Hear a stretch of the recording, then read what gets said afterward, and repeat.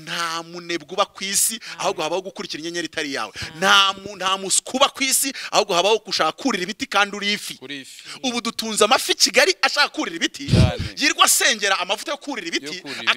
yi- yiga tekinike zo kurira ibiti. kandi ari amafi kandi agomba kujya mu mazi. Imana y'ubuhanuzi iyo usomye bibiliya ivuga ngo iki? Ngo yungura itorero. Ufite kungura itorero ni cyo cya cyapa. Kikubwira ngo jackie wowe wijya muri football jya muri volleyball. Wowe we wigenda gucuruza muri matewusi ahubwo wowe akanwa kawe kazakugaburira. Noneho iriya rero icyo umuhanuzi akora ni iki? Umuhanuzi ni umuyobo- ni umuyobora. A- wo kukumenyesha amakuru. Uretse gato sinari nakarangiye ikibazo abantu muri profesi bahabwa Mm. nabonye bakoramo. Yego. Afata ibyo imana yamubwiye azatunga Mm. ntafate icyo imana yamubwiye azakora. Inyenyeri ni icyapa kiranga ubushobozi imana yakubitsemo. Yashizemo noneho rero ikibazo cya mbere ubwo bushobozi imana yakubitsemo urabuzi. Wumve ko ari bwo bwa mbere nyibwirije mu cyongereza. Kandi usanzwe ukizi n'ubundi wari nsanzwe nkiza ariko urabiza uko- ukuntu tukiga. Hariya muri ecole secondaire do. Do. Ecole secondaire do. Eh. icyongereza cyo cyo muri ecole segonderi do. Na nawe uracyumva noneho ariko nageze hariya mwuka wera afata icyongereza cya ecole secondaire do. Acomekaho mwuka Wera, buriya rero abantu hari ikintu batarasobanukirwa. Ubwo rero turi abami Mm. kandi tukaba abami mu bwami bw'imana. Nitubanze ntitubanze tunasobanukirwe yuko ubwo yesu yavukaga Mm. umwami yego inyenyeri ye yaragaragaye. Mhm. bivuze ngo umuntu wese wa Yesu umwami n'umukiza yego. umuntu wese wuzuye mwuka wera Mm. uwo muntu inyenyeri ye ibiriho yes.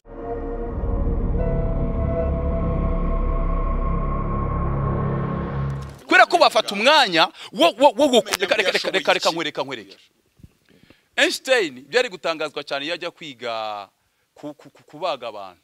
Kavuge gutyo. Ariko Einstein yabonye ko yakora bombe atomike bakayitega ahantu cyangwa bakayirekurira ahantu. Ikamara abantu abasirikare batarwaye. Aragenda yica ni umuyahudi. A- w'umu- u- ufite ubwenegihugu bw'ubudage. Aragenda yicara akora uduforumire akora uduforumire akora uduforumire arangije aragasunika. Pyo. Amaze kugasunika uyu munsi abantu bose bose bose bose bakira amapuri nobel n'ibiki byose ni byo Einstein yasize ariko icyo abantu bagomba kumenya ni uko buriya iriya miryango cumi n'ibiri ya Yego. bose barafite ah, imyuga itandukanye kariyeri zitandukanye. kariyeri zitandukanye. ugasanga bene gadi wenda ari ababoshyi Yego. ugasanga bene ntuza ari abari ugasanga bene ntuza education buri Muryango wose ufite particulier. Wa bizinesi Mm. ushoboye. imana yawuvuzeho ni ukuvuga ngo wari ufite inyenyeri ya bizinesi icyo kibazo rero icyo kibazo rero Jackie yambajije ahantu abantu bakwiye kwitondera cyane. bakwiye kwitondera kumva imvugo ya gihano. Yes niyo mpamvu ikibazo rero sasa ijambo rimwe bavuga ngo n'ubura ubwenge zakureka ahantu abantu benshi mutabazi yahavuze bagwa. Bahora bavuga ngo imana yavuze ko nzacuruza amatewusi U- uzi abantu bacuruza amatewusi ibitekerezo bagira. Icyo ni ikintu cya mbere. Mm. ubu gushize twari turi ahangaha turiho turavuga ijambo ry'imana. Ugomba kumenya ibintu bitatu. Nishaka ndangiriza aha. Mm. ugomba kumenya ahantu imana igutumye. Babayeho bate? Barya bate? Bavuga bate? Dalaskore brado la fore brasa Hallelujah. bagenda bate? Urumva ayo makuru ugomba niba imana ikubwira ngo ni muri matewusi icishe muri matewusi byibuze ugire umumama umwe. Dose. U- niyo yacuruza bodaboda. Yeah. umubwire uti mama jyewe nanjye mfite iyerekwa ryo kuzacuruza. We mbwira dokisa la brede la fore Wo- gutyo ugashaka amakuru Yes. y'icyo kintu. Kugira ngo kuko ahantu imana ikujyana. Akenshi reka nkubwize ukuri. Jackie ndakurahiye pe. Adamu uyu munsi i- i- i- i- ibintu mvuga bitandukanye ibyo jackie avuga. Yes. bitandukanye n'ibyo mutabazi avuga. Kubera iki? Jewe naraye hanze ku muhanda on the street kampala. Naraye nairobi. Naraye dar es salaam. Kw'ibarabara. naraye- kw'ibarabara Eh? ku muhanda zanzibar. Naraye ku muhanda victoria muri Re- naraye muri gereza muri congo. Adamu rero ibintu ahantu imana yamucishije iyo agiye kuvuga akagera kuri point igaragaza kuri ibyo bintu. Ayivuga neza kuko aho hantu habaye aho hantu kuza ubuhamya. Uzahaza kubuhamya Eh, rero gerageza rero jackie niba Yego. kuvugaho ikuvugaho. Nturebe ibyizagusohorezaho ahubwo reba uruhare rwawe abe rwo witoza none se aho ngaho tukiri aho ngaho abantu bagiye bahura n'ubuhanuzi bugiye butandukanye. Ese urabizi ko hari ubuhanuzi koko bw'ukuri. Mm. hari n'ubuhanuzi nimba navuga ngo ni Bw'ibinyoma. ntanzima cyangwa n'amarangamutima. Icyo gihe umuntu azatandukanya gute rero? Reka nkubwire. Ikintu cya mbere nabanza gusobanurira ni ukuvuga ngo ibihe bizaza. Kuko ijambo rimwe rivuga ngo hazaza ibihe birushya cyane. Kuko iki gihe turiho turinjiramo jackie hagiye gukora niyo mpamvu imana ya profesi abantu bagomba kuyitondera cyane. Kuko mu gihe cya nyuma the book of revelation ndavuga ngo nuko mbona wa muhanuzi w'ibinyoma. Niyo mpamvu abantu abantu bafite church mbabwiza ukuri. Mukwiye kwita ku bahanuzi kuko ni ho hantu tusigaranye the voice of god. Uko i- intambara ya nyuma izakubi iza church izarwana na yo. Ntabwo izarwana n'abapasiteri ntizarwana n'abapotere izarwana n'abahanuzi. Kuko ijambo ririmo ngo nuko mbona satani ahagurukanye n'umuhanuzi w'ikinyoma na wa mwigisha w'ibinyoma.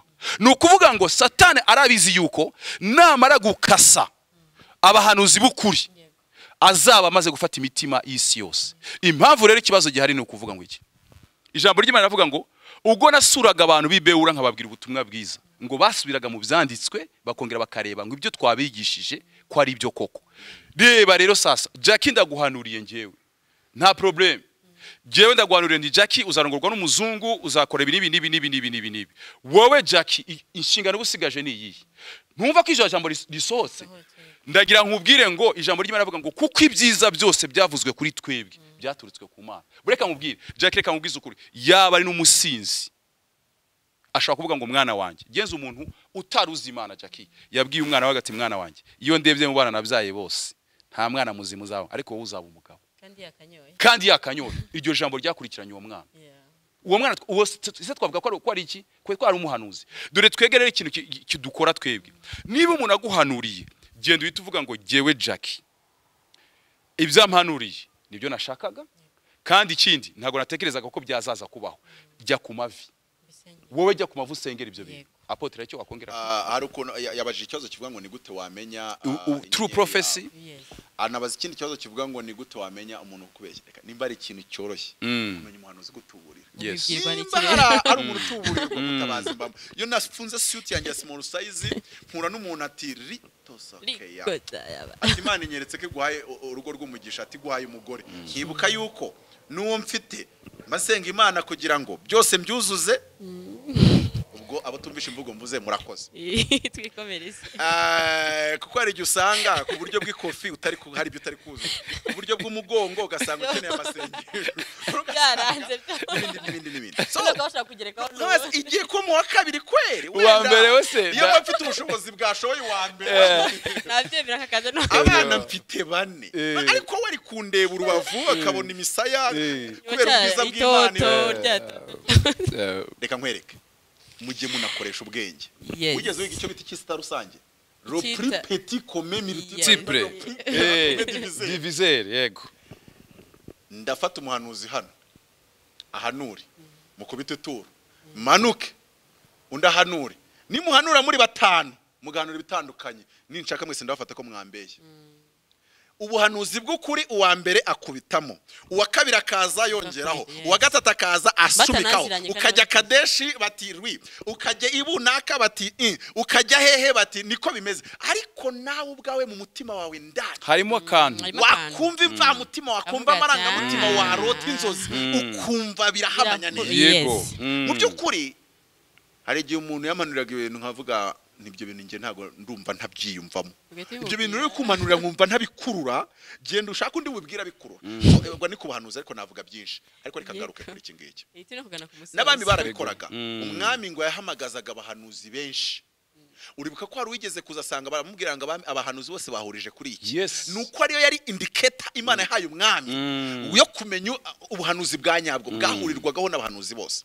Noneho undi aje kuko bari bose bari babitekinitse waraza avuga ubuhanuzi bw'ukuri. Ariko iyo imana izanye ubuhanuzi buvuguruza ubwinshi bwavuzwe izana ni- n'iki- cyitwa ibimenyetso Mm. ni ukuvuga ngo imana imbwiye ibintu nkumva ntabyumvanye nyisaba ibimenyetso. Gusaba ibimenyetso si ukutizera. Yego yego. Gusaba ibimenyetso si ukugira gute.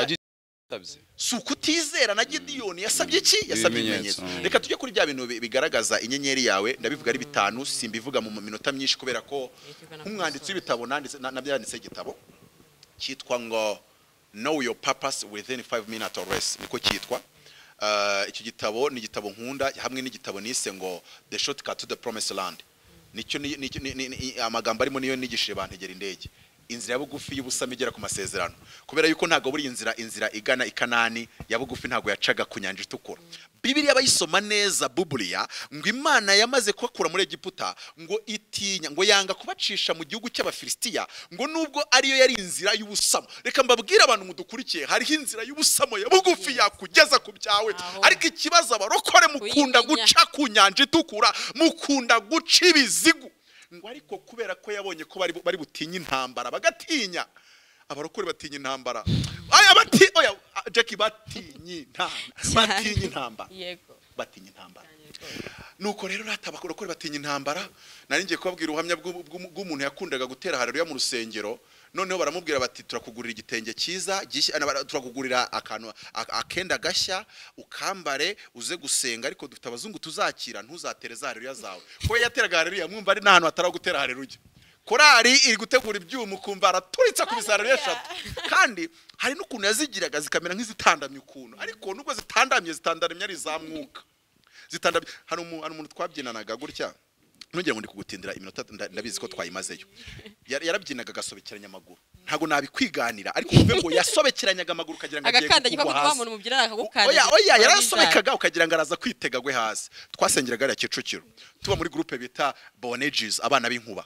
Noneho umunsi umwe aza kuzamuka umusozi. Yongojwe nande hari umumama yaragiye asenga yitata abwira imana ngo nimwigishe kubyina neza. Agaruka abyina twese twigirayo turazi "Mm, Clementi ko usigaye ubyina bya danje aravuga ngo nazamutse umusozi ayitatu mbwira imana ko impa kubyina byiza none yabimpaye eh noneho wa wundi nawe aravuga ngo ngiye gusaba imana kubyina neza usobeka amaguru agerayo akubita umunsi wa mbere ku munsi wa kabiri imana iramusura. Iramubwira iti rero uko kuntu yasobeka biranezeza nduwiteka meniyanse iramubwira iti ubwo buryo yasobeka udakuyeho na gatoya? Nibwo nshaka, ati se wa mana we kuyasobeka ko abantu banseka bim- bi- bi- bikumariye iki? Imana iramubwira ngo hari umuntu uva mu rugo byamucanze. Babwiriza amatora ntafashwe. Bashyiraho indirimbo yo mu gitabo ntibimufate. Watangira gusobeka ariya maguru yawe. Akumva arasetse akumva aranezerewe. Urumva ko imana yifite impamvu. Rero icyo nari nshatse kuvuga ni igiki. Ni ikivuga ngo eh, ngo imana ngo yabonye batinya intambara. Uyu mukecuru nawe yateraga rero zitandamye ariko ari umugambi w'imana. Nako yari umumama yari umukobwa ukuze. Arangije bamubujije aragenda aricara ah, amateraniro yageze hagati b'abazungu baje abazamuye za hareruya aravuga ngo na bya bintu mwanyemere nimushaka mu binyime ayikoma ku karura ati haleluya! Ibaze, Arayikubita iya bamubujije. mbere. abakubisi ya kabiri. Umuzungu wari waje muri delegasiyo barirukansa baramuhobeye avuga mu ndimi. Ati ni wowe imana yambwiye. Eh, ati imana yambwiye ngo umuntu uri butere hareruya mu iteraniro. Hatari na gahunda ya hareruya ni we mugore wanjye. Urumva yuko uyu muntu ntiyatinye yuko natera hareruya biramubera intambara. Ibi nishatse kubivuga navuga ikintu kirekire wenda nzagaruka. Ariko abarokore ngo kubwo gutinya intambara ngo imana iravuga ngo reka bacishe ku nyanja itukura ni ho hatari intambara ngo ibacishe ibizigo. The shortcut to the promised land. Abarokore bakeneye kwiga amahame y'ubumana no mu mikorere y'imana. Ariko ngaruke kuri cya kintu noneho ngo ni ibiki bitanu byakumenyesha inyenyeri yawe. Icya mbere impamvu wenda mbanje ibintu byinshi nari nzi ko kubivuga byo nu- nuko ubyenemera ko ni ibintu nakozeho research ni ibintu nakoze ubushakashatsi ntago nanabukoze uyu munsi. Maze nk'imyaka rwose itanu mbukoze. Noneho rero. Kandi imana inkomfirima ko ndi mu murongo muzima ko burya iyo uri umwigisha ugomba no gusenga ukumva nimba eh, inyigisho uri guha abantu ari, ari, ari iz'ukuri ikintu cya mbere ni feva ikintu uzajya mukabona iyo ukigezemo upfa kugitungukamo feva irimanura. Iyo ni indiketa ya mbere. Ariko nuyifata yonyine ntihagije. Indiketa ya kabiri ikintu bita passion. Ubwo abatazi icyongereza feva ni igikundiro. Ibyo bintu iyo ubigezemo ubona abantu bari kuguha amahirwe arenze ayo y'ubushobozi bwawe. icya kabiri passion. Ibintu ugirira ishyaka. Watangira kubikora saa sita zikagera saa cyenda zikagera saa kumi zagera ugatangira kubaza ngo rya saa sita zageze? Mu gihe hari undi ujya gukora ibintu saa tatu ngo "Ah, ah, ah, ah." Urabona ngo icyo kintu udafitiye urukundo ah, rukujyana rukaguherana ntabwo aba ari icyaha uribuka yuko ngo ngo yakobo ngo yatendeye rasheli imyaka irindwi ngo imu- imuhwana n'iminsi mike kubera urukundo yakundaga rasheli. Ni ngo kora icyo kintu kimeze nka rasheli ku buzima bwawe. Cya kintu im- im- im- imyaka irindwi guhindukira nk'iminsi mike. Icya mbere tubonye ko ari feva icya kabiri ni passion icya gatatu ni intelligence. Intelligence. Ni ngo ni ikintu iyo ukigezemo kukiga birakorohera. Dawidi yaravuze ngo umubwira rimwe nkumva kabiri. Ni ikintu iyo ukigezemo ushobora kwiga amezi atatu muri icyo kintu bakakubwira ngo ibintu uzi abandi bamenya mu myaka itanu. Kandi wize amezi atatu gusa.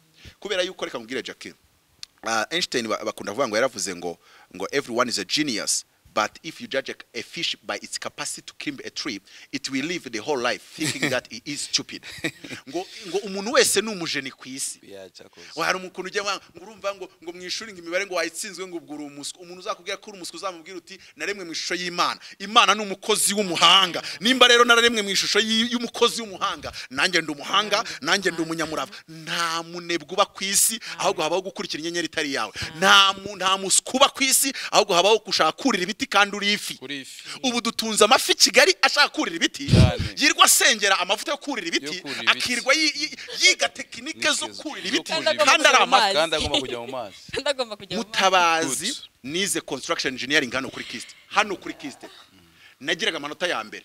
Ariko naje gusanga construction ni, ni ukurira ibiti kuri ku ifi yitwa mutabazi. Mutaba dukomereze dukomereze mutabazi Icya gatatu, Mutabazi. Ubuzima gatatu. ni ukuvuga abantu bakagira ubuzima. Hari Yeah. icyo kintu kigezemo uhita uba umuhanga w'agatangaza mba ntanze urugero ko muramuhagaritse hari Mm, umuntu yarize biramunanira ariko agiye kwiga kubaza imeza bajije feva ikagurwa mbere y'izindi. De mu bintu byitwa kubaza.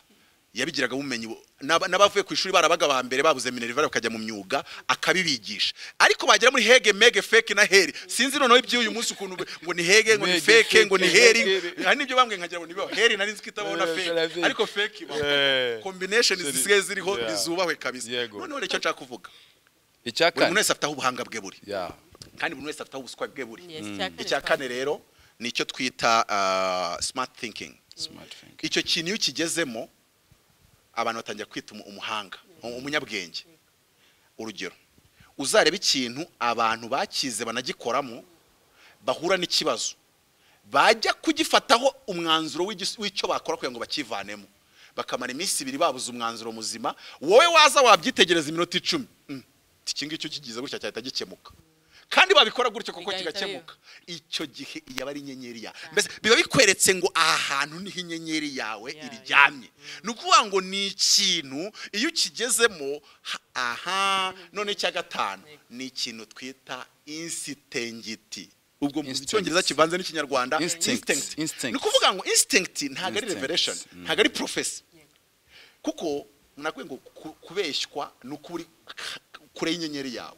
Iyo uri mu nyenyeri yawe cyangwa iyo uri mu- mugisha wawe iyo uri muri destiny yawe niyo umuntu agiye kukubeshya ubyumva vuba. Arakubeshya instinct yawe ikagukomanga ikakubwira ngo uyu muntu arakunyomeza amakenga. so eh, icyo kintu rero nkivuga cya instinct ho gatoya eh, ni ubushobozi umuntu agira bwo kwakira ibintu wakita nk'ubuhanuzi ariko atari uko ari ubuhanuzi. Ariko ari ibintu bimujemo akumva byiyumvishemo atabanje gutekereza umwanya ariko akumva byiyumvishemo noneho bya bintu ukaza gusa- gus- ukaza gusanga bihuze n'ubuhanuzi nyabuhanuzi ugasanga bihuje n'umugambi w'imana. Aha nda- nda- ndatanga urugero kugira ngo abantu babyumve neza. Eh, iyo umuntu afite inyenyeri y'ubucuruzi wenda tuvuge eh, ibishyimbo urabizi ko byigeze kugera ku gihumbi? Iyo bita koruta igera ku gihumbi iyo bita mutiki ukuntu ukuntu, noneho rero kiriya gihe umuntu w'umucuruzi w'umucuruzi instinct ye imubwira yuko ibishyimbo bigiye kuzamuka. Akaba yakubwira ati rangura ibishyimbo bigiye kuzamuka. Yes. ukaba maze se kuki uvuga ko bigiye kuzamuka ushingiye kuki Yego. akaba adafite ibihamya n'icyo yashingiraho. Ariko akavuga ngo ndi kwiyumvamo ko bigiye kuzamuka. Kandi koko bikazamuka. Icyo ntitwakita nka sixième sens icyo abantu bavuga ngo ni sixième sens Aha, ni ukuvuga ngo iyo umuntu ari mu nyenyeri ye agira siziyemu icyo ab'isi bita siziyemu sansi noneho rero ikibazo cy'abarokore mwoka byaramwe mwoka byaramwe ubwo hano tuba tuvuga ngo ntibikwiye ko wakwinjira mu mutima wanjye ariko uvuga ijambo rimwe gusa. Abarokore ntabwo bajya bizera ibyo batekereza. They never trust their instinct they never trust their thought they never trust their minds. Ntabwo bajya bizera ibyo batekereza. Kandi bibiri irambwira mu migani ngo ibyo umukiranutsi atekereza atekereza niko ari. ngo uko umuntu atekereza mu mutima we ni kare ariko n'indi rivuga ngo ngo uko ngo ibyo umukiranutsi atekereza biratunganye. Ngo the thought of the righteous are right. Abantu mudukurikiye. Watekereje gufungura ahantu resitora. Kandi ibihumbi magana abiri wari ubifite uburaho iry'itanu iyo utangirira kuri ibyo desa n'iry'itanu imana ari kurizana. Ariko byakujemo urabininira. Mutangire kwiga guha agaciro iryo jwi riza rikavugira mu mitima yanyu. Wirininira. Hari igihe umuntu akubwira ati uyu muntu yanteje ibibazo ariko n'ubundi telefone nkiyakira. Numvaga ntamwiyumvamo kujya kumu numvaga ntiyumvamo kumusanga njye nigeze kuva ibyumba ndaza ngeze mu nzira umuntu yari ari kuri serena. Navuye ibyumba ni cyo kinzanye. Ariko mva ibyumba numva bitandimo. Ngeze mu nzira nageze ah, hano karuruma. Nkomeje kumva ukuntu instinct yanjye yakomeje kubimbuza.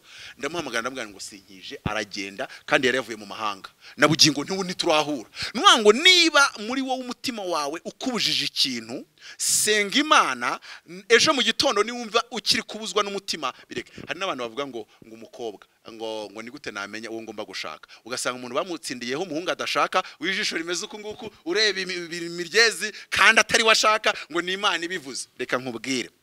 Nuba ukundana n'umusore. Wamureba ukabona ni yavuga ukumva birajyamo. Yagenda ukabona aratambuka neza. Umva. Ukumva umutima wawe ntugukubuza mm. uzajya gusenga. Nusenga imana ikamukubuza izagereka ibimenyetso. Ariko ibintu by'abahanuzi bashakisha shakisha ntuzapfe kubyemera. Murabe mubyumva noneho rero. iyo usenze wa muntu atari we. Iyo usenze wa muhungu atari we. Ubyuka wumva yakuvuyemo. Yanaguhamagara ukumva biki? kujyamo. So, ni ukuvuga ngo rero abantu ntibige guhuza ibintu by'umwuka n'uburyo imana yaturemye. Kuko umuntu ni, ni, ni nk'imashini imana yaremye. Ariko banavuga ko ngo umuntu ngo nawe ashobora kwihanurira ubwe nawe ubwa ngewe ubwanjye n'umutima wanjye nkihanura cyangwa nkana- nkanavugana nawe? Uh, Ukananyemeza. ibintu by- ibintu byinshi ibintu byinshi nagiye mbyihanurira nyuma y'amezi atatu abahanuzi bakaza ari nk'ijana babimpanurira. Ni ukuvuga ngo kwa kundi nyine tugira iyo instinct muri twebwe ikikubwiye iyo ukiyatuyeho. Nk'urugero kamubwira nko ku ndege.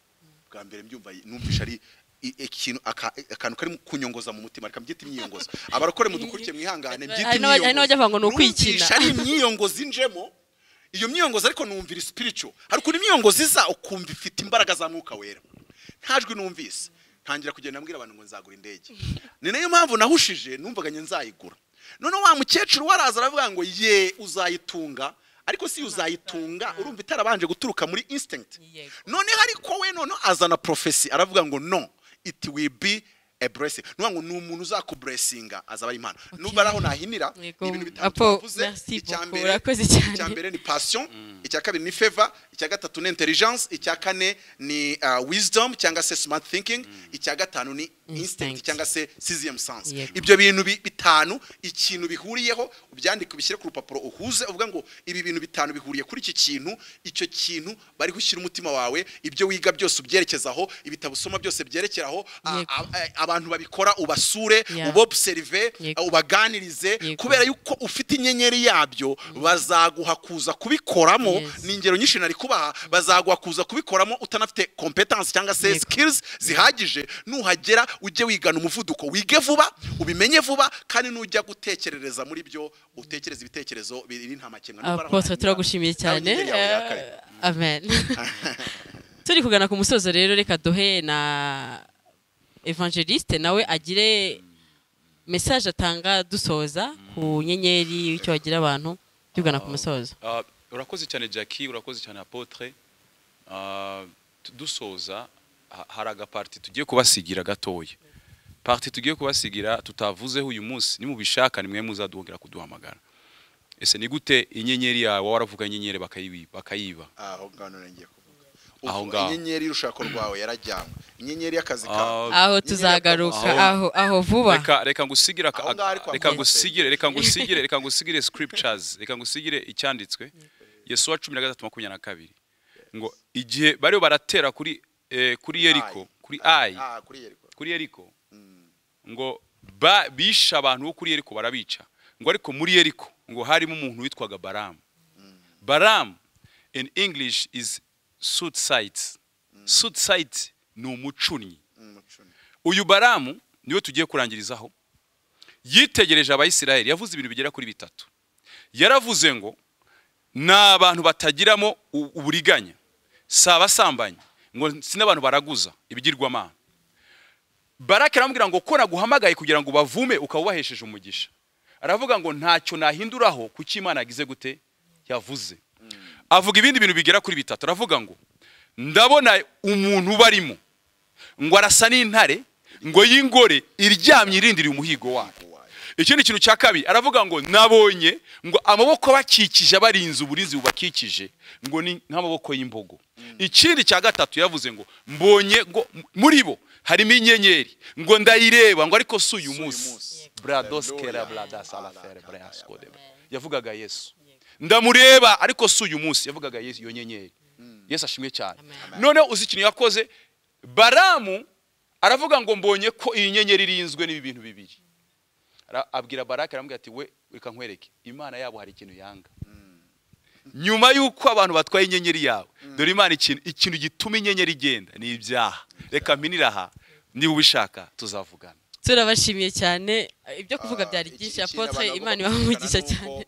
hari kote y'ibintu by'ubwenge bituma inyenyeri igaragara twabivuzeho Yego. ariko hari na kote y'ibintu byo gusenga. Ahubwo reka tuzakora ikiganiro kindi ku by'inyenyeri. Ndabizi ko abantu benshi ntabwo bazi ibintu by'inyenyeri. Yes. kandi ntabwo wabivuga mu masegonda abiri ngo birangire. Tuba tunafite ingero. Ngendanwa n'izo mu bapagani. Kuko hari n'abantu ah n'abapagani bagira inyenyeri zabo iki kiganiro Ariko kizagiye nyine. kijya amaparti iyi ni parti abantu 1 bumve ngo tuzakomeza. nabona inyenyeri ye itaratse azashaka abakozi b'imana. Nabona urusha nabona akomeza akomeza imyaka igenda imubana myinshi ahure n'umu- n'abakozi b'imana. Kuko abanyakigali wenda turashaka umunsi tubivugeho ntago bazi agaciro k'umutumishi. Ntago bazi agaciro k'umuhanuzi. Ntago bazi agaciro k'umutambyi. Mbese abantu ibintu byose babifata kama kawaida kama ibisanzwe ariko inyenyeri yawe wowe uri kudukurikira nimba ubona ukeneye ko inyenyeri yawe yaka. Ukeneye umujyanama ni mutabazi ariko ukeneye n'umuhanuzi ukeneye umutambyi ukeneye umuntu usengera muri dimansiyo yo kubohoza inyenyeri yawe. Kuko abantu benshi benshi bari no kudukurikira inyenyeri zabo zajyanywe n'umubisha zajyanywe Ni ukuri. n'umwa- n'umwanzi satani. Rero izo nyenyeri za ya iyo nyenyeri yawe kuko aba bari abanyabwenge bageze kwa herode inyenyeri yarabuze. Basohotse kwa herode irongera iragaragara. Iyo umuntu ari kwa herode inyenyeri yirabura kandi atari ibindi bintu yagize. Nababwiye ngo ukaba warize uri inzobe ufite n'imico myiza nk'umukobwa ariko urugo rwawe ntirubeho. Kubera iki? Hari ikintu cya- cyafunze signboard yawe mu buryo bw'umwuka rero abantu tubyoroshye tubishyigire gutya ngo shaka abakozi b'imana. Yego. basengere inyenyeri yawe. Basengere ah, ibyo ukora. Basengere ubuzima bwawe mu mwuzuro wabo. Ko hari umuntu usanga abayeho imyaka myinshi ariko nta na rimwe arasengera ubuzima bwe mu- mwuzuro wabo. Kariyeri ye nta munsi arayisengera. Abana be nta munsi arabasengera. Urugo rwe nta munsi ararusengera. Ah, umuryango we famiye rarije nta munsi arayisengera. Reka minire aho ngaho mvuge ngo abantu bakeneye gusenga ariko banakeneye kumenya. Kubera yuko buriya satani agufata ku rugero rw'ubujiji ufite. Satani agufata ku kigereranyo n'igipimo cy'ubujiji ignorance ufite. Rero iyo turimo twiga ijambo ry'imana gutya ni ukugira ngo ubujiji bukurweho. Ariko iyo ubujiji umaze kweyurwaho hari imbaraga za- za- z'amaboko y'i- y'imyuka mibi n'imbaraga z'aba- z'abarozi n'imbaraga za karande. Ibyo byo ntibikurwaho n'uko mutabazi yavuze ntibikurwaho n'uko yigishije neza ahubwo bikurwaho n'uko habayeho igicano cy'amasengero ya reka tubashimire cyane abantu bari badukurikiye. Mbone gushimira cyane apotre mutabazi. Imana ijuru umugisha ku mwanya wanyu mwafashe mukemera kudusura muri studio zacu tukaganira nubwo amasaha yes. Ah, nongeye gushimira cyane nongeye gushimira cyane evangeliste adama imana yo ijuru umugisha. kandi ndizera ko tuzakomeza. Iyi ni pati 1 tuzabakora indi pati 2 amen. Ubundi nongere mbakire buri wese ku buhamya bwiwe. Muratwemereye. Ego nta kibazo. Uranyemereye. Ego nta ngorane nta ngorane. Ye tuzagenda ngo tuwuca mu maseri kandi hari benshi buzafasha. Yego. kumva ko uyu muntu uyu munsi wa none yaba yandika ibyo bitabo. Adam aze gutanga namba ye. Yego. Abantu ba- ba- bazamuceho ase- asenga inyenyeri zabo rwose ni ukuri reka ngo nimba imana dusoze yabaye imana mujye Yego, muzikorera nanjye mutabazi wumvishe ko ndavuga. Ndavuga. Nimero yanjye nimero yanjye ni zeru karindwi umunani cumi na kane irindwi kane magana atanu. Zeru Wayisubiramo. Karindwi umunani cumi na kane irindwi kane magana atanu jackie. Uh, twongere kubashimira mwe mudukurikiye turasoza dusenga. Ndashimira cyane abakunzi ba Shiro TV Shiro TV dufite abakunzi benshi bagiye batandukanye hirya no hino. Ndabashimiye cyane mwe mwabanye natwe mutadusize. Nzi ko ahangaha nawe kuko wajyaga wibaza wese inyenyeri yanjye nanjye ubwanjye ubu ngubu usigaranye umukoro ukomeye. Kandi n- aba bagabo uko ubwo twahuye nanjye nzi ko inyenyeri yanjye ngiye kuyibona. Ni ukuri nzayimenya kandi nawe ndakwifuriza ko wamenya inyenyeri yawe. N'ikindi gi- gice tuzakurikizaho nzi ko tugiye kubakorera n'icyegeranyo. Harya niko bajya bavuga tugiye gukora icyegeranyo Mm. cy'inyenyeri. Mm. kandi iki ni ikiganiro cyiza cyane Mm. hari benshi bifuza kugira byinshi bamenya. Reka rero mbashimiye cyane mwe bakunzi bacu muri hirya no hino. Mwe mwakoze subscribe mbashimira cyane. Nawe utarayikora nkubise ko wakora subscribe. Ukibuka like share ndetse na comment. Iki kiganiro gisharinga ahantu hagiye hatandukanye. N'undi muntu utarigeze amenya iby'inyenyeri yiwe akaba yabasha gusobanukirwa. Reka rero dusoze cyane tubasengera umukozi w'imana Reka. Ah, reka dusoze dusenga rero ah, nkunda kubwira abantu nkababwira ngo hari isengesho. Iyo urisenze ubuzima bwawe burahinduka fore, iyo usenze ugafata amasezerano yose wabwiwe ay'abatubuzi bakubwiye ay'abazima bakubwiye ay'ababishopu bakubwiye ay'abaprofete bakubwiye ayo wabonye mu nzozi zawe ugasenga isengesho riyazanamo. Ijambo ry'imana rivuga ngo mwibutse imana amasezerano. Ngo yemwe abibutse uwiteka ntimukamuhwemere. Ikindi ayo masezerano mu gihe urimo uyasengeramo ukongeramo ibyanditswe bigenda bihura n'ayo masezerano. Abana banjye bazigishwa n'uwiteka. Nta mu- nta nta muntu uzandwanya ngo anshobore. Aho nzazaba hanjye iyo urimo usenga iryo sengesho ikindi ukabwira imana kuguha igitekerezo. Bene data tugiye gusengera inyenyeri zanyu zake. Tugiye gusengera inyenyeri zanyu zake. Ariko mujye mushyira imbaraga mu gusengera ibitekerezo byanyu. Kugira ngo imana iyobore ibitekerezo byanyu. Kuko bibiri iravuga ngo the plan belong to the hearts of men but it is god who directs the steps. When you plan god directs your step. Iyo uri umuntu ukunda gutekereza ugakora inyigo y'ibyo ugiye gukora imana inayobora intambwe zawe. Imana ku munyembaraga igaragaza nk'inyembaraga ku kigo kigaragaza nk'igoramye ku munyembabazi kigaragaza nk'inyembabazi. Iyo umuntu akoresha ubwonko bw'agatekereza imana na- na- na- nawe imuha ibitekerezo.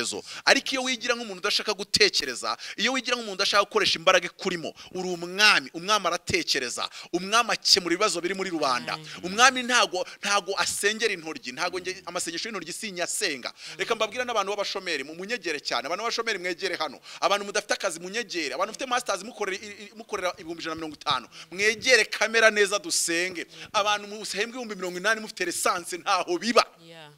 Iyo iyo ni sare y'umuntu utanarangije turaziye mu segonderi n'uwize WDA iyo ngiyo yarayirengeje.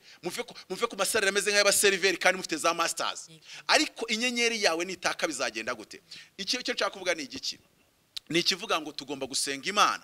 Tugomba gusenga imana. Gusenga bigira umumaro iyo umuntu asenganye iki? Asenganye umwete. mugire gusengana umwete. Izina ry'imana yacu rihabwe icyubahiro. Mugire gusengana umwete. Reka tugereho muri uwo mwanya wo gusenga tutavuze ibintu byinshi eh, ariko wumve neza yuko imana igomba kugira gute eh, ku, ku, kugira inyenyeri yawe yake. Inyenyeri yawe yake. Inyenyeri yawe yake. Kandi utangire kujya wihanurira ku buzima bwawe mu izina rya Yesu Kristo. Utangire kujya wihanurira uvuga uti ndi umuntu w'agaciro uvuga uti ndi umuntu w'umunyamumaro uvuga uti isi irankeneye njye ndababwiza ukuri ibi bintu nabivuze mburara ariko uyu munsi ndakenewe uyu munsi ndakenewe. Reka nkubwire Jackie ku isaha nishyuza imiri dolari muri konferanse iyo umuntu anumiye muri konferanse kandi ubwo ngo ntabwo ari bibiliya mvuga muri konferanse nshobora kuvuga bibiliya nshobora kuvuga ibitari bibiliya. Akambwira ati vayo we wenkarajinga abajene ubigisha entrepreneurship ubigishe how to be successful nishyuza igihumbi cy'idolari ku isaha bishyuye hoteli five star bishyuye indege ntabwo niyishyurira ariko ibyo byose ni uko namenye inyenyeri yanjye nari na- na- inzara yari yanyishe nk'uko nawe yakwica nusobanukirwa inyenyeri yawe ntabwo uzasonza nusobanukirwa inyenyeri yawe reka mbabwire ikintu ngiye kubatuma yuko dusenga nusobanukirwa yuko inyenyeri yawe iri mu- muri hoteleri. Nubwo waba utarize iby'amahoteli uzajye kuri resitora uhahagarare bazarara bakwangaje nusobanukirwa inyenyeri yawe. Wenda ushobora kudakira ariko kurya byo uzarya kubera iki? nasobanukiye ko inyenyeri yanjye ari ukugira inama abakomeye ntangira kujya mbwira abantu bafite amakampanizi ni nimba mufite ibibazo mu makampanizi yanyu? Mumpamagare nishyuze ibihumbi ijana ku isaha. nabibabwiye nzi ko ari burage mbona babiri baranyishyuye isaha ebyiri ebyiri. reba umuntu akwishyura desamiri ku masaha abiri.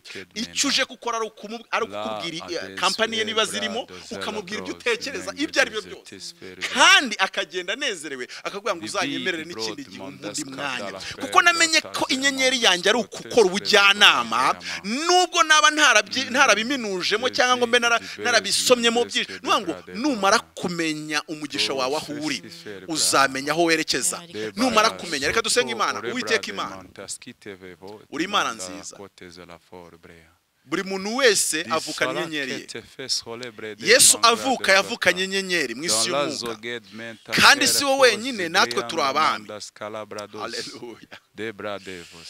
Ah, hari abagabo bibiri ivuga ngo bari bafite ngo imana yabahaye umwuka wo gucura ibintu by'izahabu bene besaleya ngo imana ibashyiraho umwuka wo gucura ibintu by'izahabu. Reka buri muntu wese amenye inyenyeri ye. ufite inyenyeri yo gucura ibintu by'izahabu amenye ko ariyo nyenyeri ye. Kandi iyo nyenyeri yake mu isi y'umwuka amenyekane. Ibye bigaragare mu isi y'ibifatika abantu baramamaza. ariko no mu isi y'umwuka inyenyeri niyo ituranga. niyo igaragaza iki turimo. Niyo iduhuza n'umugisha wacu. Niyo iduhuza n'abantu bagomba guhuza natwe cyangwa se bagomba gukorana natwe. destiny helpers kubera iyo nyenyeri. ndagushimye uwiteka imana. Reka inyenyeri yabo yake. inyenyeri y'urushako rwe reka yake. Mu izina rya yesu kirisito haleluya inyenyeri yo mu kazi. Inyenyeri yo mu- yo- yo mu mikorere. Inyenyeri yo kuyobora. mu izina rya yesu kirisito inyenyeri ya negosiyasiyo iyo na yo ibaho mu izina rya yesu. Inyenyeri yo guhuza abahanga. Inyenyeri yo gutekereza ikintu gishya yo guhanga ibishya urakoze yesu kirisito Ah, ni byinshi ni byinshi. Kandi n'ibyo urimo umpishurira n'ibyo ungaragariza ni byinshi. hari abantu benshi bari mu buzima buda- budafatitse kubera yuko inyenyeri yabo ya- yamizwe na satani. Inyenyeri yabo ya- ya- ya- ya- ya- ya- yapfundikiwe n'umwijima w'abarozi. yapfundikiwe n'imbaraga z'abakonikoni. Urakoze yuko hari icyo ukoze. Icyubahiro ni kibi cyawe. Data mwiza sengeye abakobwa inyenyeri yabo y'urushako bitagenze neza. Ndasenze kugira ngo imbaraga zawe imbaraga z'imana imbaraga z'umuriro zimenagure imbaraga yose ituma badashakwa. Im- imenagure imbaraga hariho abantu buri gihe iyo ugiye guhura n'umuntu wa- wakubaza izina wakubwira ngo ndagukunze. uhura n'abantu badashobotse gusa. uhura n'ababeshyi uhura n'indyarya uhura n'abasinzi uhura n'abasamba uhura n'aba- n'ababyaye abana umunani hanze. Ariko imana inyenyeri yawe iratse. Ubu ugiye gutangira guhura n'abantu bazima. Ubu ugiye gutangira guhura n'abantu bafite amerekezo. Ubu ugiye gutangira guhura n'abantu n'abantu bafite bafite imigambi y'imana. Ndasoje ndasoje. Ndasoje. haleluya hari abantu mufite bizinesi mukora. kuba ziri guhomba bikaba biri guterwa n'uko muri gukoresha abantu badafite inyenyeri. babo bakozi bazirukana simbizi ariko imana ikuzanira abakozi bazima. Nigeze kubabwira ikintu gikomeye umukara arimo ambwira ariko ngicamo reka ngira nyisoze ari na cyo nsorezaho ndekure mikoro. Imana yambwiye ngo ntusengere abashomeri. Nubwo abashomeri ari benshi. Ntusengere abahembwa makeya ntusengere abakeneye poromosiyo imana yambwira ngo ahubwo nsengere abakoresha bakeneye abakozi bazima. imana yambwira ngo si- si- si- sinsengere abakobwa bakeneye gushaka ingo z'umugisha. Ahubwo nsengere abahungu bazima basenze imana bubashye imana batari abasambanyi batabyaye abana cumi na barindwi hanze batari abanyamanyanga batari buze ukuntu mbita? Ariko ngo mbasengere abo bazima imana ibahuze n'abakobwa b'umutima. Kuko imana igiye gutanga ubukwe kandi igiye gushyingira abantu. Ha, reka dusoreze hano rero imana ibikorere kwiyubahisha. Ah, wowe nimba inyenyeri yawe wamenye iyo ari yo eh, umukoresha ariteguye. Nimba yosefu we wamenye inyenyeri yawe potifari ariteguye kuguha akazi ko kuyobora urugo rwe. Nimba wamenye inyenyeri yawe yosefu we eh, umukuru wa gereza yiteguye kuguha kuyiyobora. Haleluya kandi imana mbonye isuka feva ku bantu. Mu kazi bahabwa poromosiyo kugeza ku rwego hari umuntu wabonye poromosiyo ebyiri mu mwaka umwe. Kandi yari amaze imyaka irenga irindwi atazamurwa mu ntera. Yaragiye ajya kwiga lisansi ntibamuzamura. Ajya kwiga masitazi na yo nubwo utarayirangiza wari kuzayirangiza ntibakuzamure. Wanavuga ibintu byo kuzamurwa ahubwo bakakwirukana. Ariko inyenyeri yawe igiye kwaka. Haleluya inyenyeri yawe igiye kwaka. Dusoza. Mbonye abantu batatu bakorera muri shike n'izindi nyubako ntabonye amazina yazo. Inyenyeri zabo zatwawe n'abazimu adamu. Baracuruzaga mu mezi atatu ya mbere. Biragenda. Baracuruza biragenda. Bajya china barazana kontineri zikurikiraho. Abakiriya wahaye imari nziza ukamuhamagara umubwira ngo nazanye indi iturutse taki akanga no gufata telefone yawe ukamwandikira kuri whatsapp reka da. Kumbi hari nk'uwo nabonye. A- hari umuntu w'iruhande rwe eh, eh, hari umuntu w'iruhande rwe bacuruzanya. Ariko simuvuze nanze kuvuga yuko ari hamida hadija nanze kubivuga. Ariko ni umuntu bacuruzanya begeranye yamugiriyeyo kandi ni ukuri inyenyeri arayitwara. Urabizi neza yuko mbere wakoraga bikagenda. Ariko uyu munsi ntibiri kugenda. Uze guhamagara abakozi b'imana ni cyo babereyeho urabizi neza yuko ah, bashaka kugukura mu kazi kandi ni we mukozi mwiza ukabamo. Ariko ni ukubera inyenyeri yawe hari ukuntu satani ya- ya- ya- yayifashe. kontra yawe ntabwo izahagarara ahubwo bazakongeza n'indi mu gihe abarozi bashaka yuko wirukanwa mu kazi imana ifite imigambi yo ku- yo kukuzamura muri poromosiyo ndi kubona hari undi muntu uri kurwanywa n'umukoresha we. Umukoresha we ari gu- gukomporota gukonkokita yo kugira ngo uvanwe mu kazi kandi urabona urengana. ndi kubwirwa ngo usenge cyane kuko ushobora gusimbura uriya mukoresha wawe arebye nabi. hamani iyo ahagurutse ku bwa morodekayi iyo morodekayi asenze neza ishushani bagashyira amavi hasi. Benekiya iyo basenze neza amanamanikwa ku giti uwitwa morodekayi akaba uwa kabiri ku mwami. Ndakubwiza ukuri inyenyeri yawe ni ukuba uwa kabiri ku mwami. Ariko hamani arabizi arashaka kuyica. Inyenyeri yawe ni ukuba uwa kabiri ku mwami. Reka mbwira adamu nubwo abantu basoma biriya nabi. Hamani guhagurukira morodekayi kuki atahagurukiye se abandi ba- bazamu? Ukeka ko ruriya rugi rwarindwaga n'umuzamu umwe? Ntabwo urugi rw'ibwami rurindwa n'umuzamu umwe. Abazamu bari benshi. Ariko kuri morodekayi yari umuzamu uriho inyenyeri yo kuba premier ministre. Reka mbabwire. Abantu bari kudukurikira dufitemo abazamu bafite inyenyeri ya premier ministre. Dufitemo abazamu bafite inyenyeri y'ibintu byagutse. ndasengera inyenyeri yawe kugira ngo yake mu izina rya yesu. Usobanukirwe ubwiru bw'ubumana buguhishwemo usobanukirwe imbuto y'imana ikurimo ariko naho umaze kugera. Ndabona umwanzi atakoroheye mugire gusenga mugire gukiranuka mugire kwiyiriza umukirisitu ibyo birindishwa amasengesho ibyo birindishwa amavi. kandi reka mbabwire ibi ntabwo njya mbyemera. Sinjya nemera yuko umuntu utanga icya cumi yirukanwa ku kazi. agomba kuva kuri ako kazi ay- asezeye cyangwa se ahawe poromosiyo ajyanywe ku rundi rwego. kuko imana yacu irateranya ntabwo ikuramo.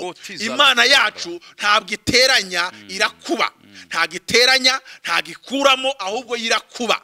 Ni inkubwe ebyiri ni inkubwe zirindwi imana yacu ntabwo ikuvana ku rwego ngo igusubize hasi. Ahubwo ikura ikuzimu yarangiza ikazamura abantu ikabicaranya n'ibikomangoma. Ndumva rero twasenze abandi muzegera abakozi b'imana by'umwihariko binjire muri dosiye yanyu kubera ko ntabwo wajya hano kuri televiziyo ngo winjire muri dosiye ya kanaka ariko hari amadosiye imana iba igenda igaragaza y'abantu bari hirya no hino mu bihugu bigiye bitandukanye ah, satani aba aragiye a- a- agafata inyenyeri zabo. Ariko mpagaze mu butware mpabwa nk'intumwa.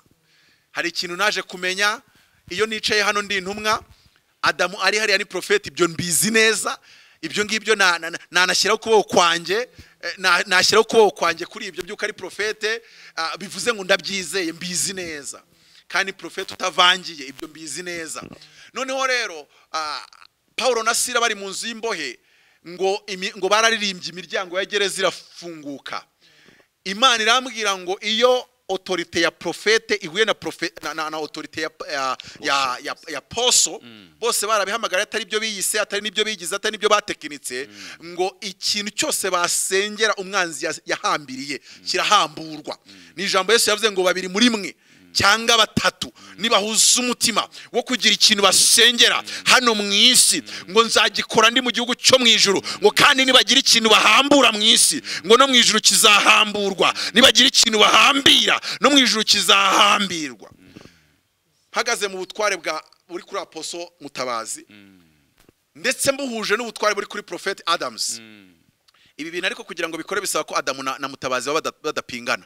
Abakozi b'imana babiri bapingana ntabwo ba- bahuza amavuta yabo kugira ngo bakubohore. Yeah. ariko ikibazo wenda nzabibabwira ikindi gihe biragoye kubona profeta wo muri kigali uhuza na pasita runaka wo muri kigali. Biragoye kubona kanaka ukora deliverance w'imushubati yahuje na apotre kanaka. Ariko hari ibintu bidasaba gusenga uw'umwe bigasaba gusenga uwa babiri. Hari n'ibintu bisaba gusenga uwa batatu. Ariko ikibazo bisaba ko aba babiri cyangwa batatu baba bahuje umutima. rero ah, muri korona ntabwo bakorana ariko mu isi y'umwuka dufatanyeho icyongereza haravuga ngo we touch and agree La deso takis pridi bra la we bra. touch and agree La briti ba. to release those who are in bondage kugira ngo abo ngabo bahambiriwe mu isi y'umwijima za brados satani babashe guhamburwa babashe kurekurwa inyenyeri yabo yake mu izina rya yesu. Ah, umugabo aravuga ngo Disi icyamukamu intimi umugisha skit brito ngo la kandi ukandinda protosco ibibi de ukanyagurira imbago uwiteka akwagurira imbago uwiteka akwagurira imbago uwiteka akwagurira imbago uwiteka akwagurira imbago ket mendas cala ferbro. De bisca la for brete cati brevolas. mbonye imana hari abantu yaguriye imbago Sinkta breda la fu. kandi ikimenyetso cy'uko izaguye nuko izaguye. amezi atatu uhereye uyu munsi. ukwa gatanu. Ukwa gatandatu. N'ukwa karindwi. Hari abantu bazabona ingaruka z'iri sengesho. kuko imana igiye mu Riki byabo ibyari byaribaniye irabibanura. ibyari byaragomewe irabigomorora. Mbonye uwiteka agomorora imigisha y'abantu. Mbonye uwiteka azibura inda zari zaranze kubyara mbonye uwiteka akora ubukwe Di kandi ubukwe bw'umugisha. Mbonye uwiteka atanga akazi. Kandi mbonye uwiteka afata bizinesi zari zarashwanyutse. Ndetse abantu bagiye gutanga iseta. Wowe wari ugiye gutanga iseta buretse buretse buretse. ubanza usengane n'umukozi w'imana. Man. ntabwo ari igihe cyo gutanga iseta iseta zaranabuze muri kigali. ntabwo ari igihe cyo gutanga iseta yagendaga ni igihe cyo kugira ngo ujye ku mavu Ili usenge. ni igihe cyo guhura n'umuhanuzi n'intumwa bakagusengera babiri. bari ngo ngo paulo na sira ni igihe cyo gushaka paulo na sira iyo gereza wari urimo iyo minyururu yari iziritse ibyawe yarangiza. Amen. ndagira ngo twese ko turi batatu. Buri wese yatura ijambo ngo umuriro umuriro umuriro Ah, kandi uko abyatura agira ahantu abyerekeza mu isi y'umwuka yature umuriro kuko hari abantu bafite imbaraga za satani zaboshye ibyabo. Kandi ibyo byose bikeneye imbaraga z'umuriro ushwanyaguza ah, imbaraga z'umwanzi. Kuko ibihindizo by'ibyuma muri aya mavuta biracibwamo kabiri. Inzugi z'imiringa zigomba kumenagurika. Ah, imirya- imiryango yakubuzaga gutambuka. Iyo uwiteka arayikinguye yitwa ndiho kandi ngo marayika agendana na petero ngo bageze ku rugi rw'umuringa rwakingaga ku irembo ngo rurabikingurira. Mbonye hari abantu ibintu byari byaranze bigiye gutangira kwibwiriza. Byari byaranze waradepoje byaranze. Subirayo biraza gukunda mu izina rya yesu. rya Yesu. Ah, wajyaga ushaka uburyo watangira no gupfundikanya ibintu no matter how little you start even if your beginning will, be little your end will be promising and prosperous. Soje rero mvuga ngo iryo jambo ry'ubuhanuzi umuriro w'imana imbaraga z'imana zibohora izo ngizo zigende zicagagura imigozi ya satani zimenagura inzugi za gereza zimenagura inzugi zabohaga abantu zikababohera mu bukene zikababohera mu gahinda mbonye imana itanga amahoro. Amahoro yo mu mutima. Mama akira amahoro iyo ni package iturutse mu ijuru umuntu atakwaka. Iyo ni package uwiteka kwihereye. Kandi numva asoreje aho ngaho. Imana ishimwe kubw'ingo yubatse kandi zari zigiye gusenyuka. Imana ishimwe yuko hari process za divorce rwose impapuro zishwanyaguje mbireba. Ishimwe ihabwe icyubahiro. Haleluya haleluya imana ishimwe kuri kuri uyu muntu. Wabonaga ibintu byose bimunaniye wabonaga ibintu byose bimunaniye. Ndatangaye. Ntabwo nari nzi ko umuntu afata keredi ikagenda ihomba yireba yasigarana make kandi make cyane akongera akazamuka akamwishyurira akongera akamugeza ku rwego ru- rufatika. Ibyo ngibyo imana irabikoze mu izina rya yesu kirisito uwiteka imana nsengeye umuntu wese ufite ideni rya banki kuko uri imana y'amahoro. Uri imana igira neza uri imana itabara bikorere kwiyubahisha yishyure kandi yishyure neza. Sengeye abo bantu bose bari babuze aho berekeza imitima yabo. Ariko by'umwihariko nsengeye abantu bamaze imyaka basengera ikintu kimwe kitavaho. Mpagaze mu butware bw'intumwa in the authority of an apostle. I declare and declare izo mbaraga zafataga umugisha wawe zigiye kurekura kandi cyatumaga utagera ku cyo washatse wahirimbaniye. Wasengeye. Icyo ngicyo gitesha agaciro mu izina rya yesu. Wakiriye umugisha wakiriye kubohoka wakiriye iterambere. Ibyo ibyananiranaga bigiye gukunda in jesus mighty name. Sinasoza rero ntavuze iri jambo ry'ubuhanuzi ijambo riri apostolike. Eh, ndashaka umuntu wumva umutima we abasha kwemeranya nanjye ibi ngibi abasha kwizerana nanjye ibi ngibi akizera yuko imana igiye kumuha seven source of income. Seven source of income. Akavuga ati njyewe imana yo mu ijuru ntarebeye kuri bene wacu ntarebeye ku mashuri nize imana indemere ahantu harindwi hatandukanye. Ninjiriza. Hi- hi- hinjiriza konte yawe. Ibyo ngibyo uwiteka bireme nonaha. Ku muntu ubyizeye ko yesu yakunda kubwira abantu ngo bikore uko wizeye. Nawe bikubere uko ubyizeye. Nawe bikubere uko ubyizeye. Ah, ku- bintu ushaka gusengera sinzi ibyo ari byo. Bikubere uko ubyizeye. Ku bintu ushaka gusengera sinzi ibyo ari byo. Kandi igihe cyane tugendanye ahubwo ndavuze ngo bikubere uko ubyizeye. Nimba ari ku by'urushako bikubere uko ubyizeye. Nimba ari ku by'amashuri bikubere uko ubyizeye. Abana bawe bazigishwa n'uwiteka. Nimba ari scholarship bikubere uko ubyizeye. Abantu bashaka ibyangombwa. Reka mbabwire. Iki cyo sinzanakigarukaho umuntu ushaka ibyangombwa akabona yujuje requirements zose. Ariko akabona ibyangombwa byaribanye icyo sinzanakigarukaho sinzanagisengera ndatuye ndi mu butware bw'intumwa. Ndi kumwe n'ubutware bwa profeti mu izina rya yesu kirisito waduhamagaye ibyangombwa byawe bize ibyangombwa byawe ubisinya arara adasinziriye najya gufungura akabati agwe kuri dosiye yawe. Najya gufungura mashine agwe kuri dosiye yawe. Mu izina rya yesu kirisito nimba ari citizenship I, don't care. Nimba ari acte do, naissance do mariage do sinzi icyangombwa umaze iminsi warabuze. Uwiteka arambwiye ngo ibyangombwa arakivivuye. Imana y'amahoro ibaha umugisha. Soreje aho ngaho amazina ni apotre mutabazi. Ngenda umwigisha rero kandi nkakunda gusenga. Eh, kandi ni ukuri eh, umuntu umaze igihe kirekire eh, abona agatara karatse mu mufuka ndashaka kumusengera. Umuntu umaze igihe kirekire agatara karatse amafaranga menshi nsigaye mbona yiyizira kuri aya matelefone ugasanga mu murayigira ariko wagira ngo ntabwo ikibaho cyangwa se wagira ngo barayiborotse ntabwo bayiborotse ahubwo nuko inyenyeri inyenyeri yawe ntabwo byari bimeze neza. Ah, reka nsenge imana Ah, kuko hari ikintu nubaha cyane Adam ikimvuga we yari ahari. Imana yambwiye ngo niyo waba nta mafaranga wowe ubwawe ufite eh, ngo ushyizeho umugisha n'amavuta y'uko umuntu wasabira umugisha w'amafaranga yayakira. Nubwo tuba dusenga tukavuga ibyanditswe hari umuntu uvuga ati "Jye mfite ideni rinsaba ibihumbi magana inani kuryishyura njyewe kugira ngo umwana wanjye ajye ku ishuri biransaba amafaranga. Nimba wizerera muri, muri, muri mobile money urafata telefone yawe. Nimba wizerera kuri akawunti ufate ya kadi ya banki baguhaye. Nimba wizerera muri transfer ya western union i don't care i don't know. Ariko ngiye kubaturaho kugira ngo uwiteka it, afungure imiyoboro. Ijambo ry'imana rirambwira ngo ngo ngo nimugakunde ubutunzi cyane. Ngo bujya bwitera amababa. Ngo bukaguruka ngo nk'uko igisiga kiguruka. Ngo kikarenga mu bushwi. imana ibyawe ibitera bitereho amababa. Biva ikasikasi biva ikusi biva iburasirazuba n'iburengerazuba biva amajyepfo n'amajyaruguru. Ubutunzi bwawe umwanzi yamize arabuhubuzwamo arabuhubuzwa mu nda. Mu izina rya yesu kirisito umugisha wawe. Ukugeraho mu izina rya yesu. Natuye amafaranga. Amen. Miracle money. Amen. Dapoya. abantu batizera bazi ko bidakora. Njye ariko nzi ko bikora. Kuri abo babyizera rero ndatuye amafaranga atanzwe nijoro ave ace muri bene wanyu ace mu batakuzi ace mu bo muhuye muri iki cyumweru ace mu bo mugiye kumenyana muri iki cyumweru uwiteka imana i release a miraculous financial breakthrough. In jesus mighty name. Amen. Amen. Amen. Murakoze.